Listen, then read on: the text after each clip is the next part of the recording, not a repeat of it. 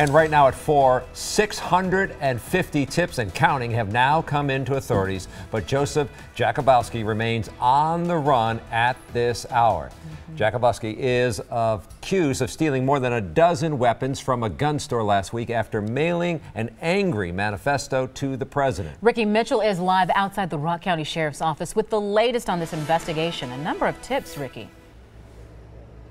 Shannon and Charles, that's right. And it's kept investigators here very busy over the last several days. And there are still more than 150 people working on this case. They're still encouraging anyone with information to call it in, though, even after receiving all of those tips. And that's why authorities released new images this week of Jakubowski. One includes an altered image showing what he may look like without any hair.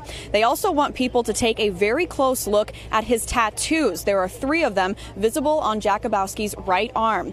Jakubowski has formally been charged in that burglary of the Janesville gun store last week. He allegedly stole 18 firearms, two silencers, and ammunition. One of the guns he took, according to a criminal complaint, was a fully automatic M16 rifle. And now, as investigators reach day six here, they are starting to rotate out investigators who have been working up to 16 hours a day on this case. It absolutely takes a toll on the investigators. This has been a long investigation. A lot of those that are closely tied to the case, they don't want to go home. They want to see this person in custody, and so they, you know, they've been putting in a great deal of number of hours and day after day after day, and it, and it takes a toll.